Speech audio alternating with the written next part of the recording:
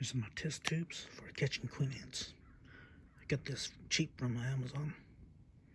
I think there's like six, maybe more.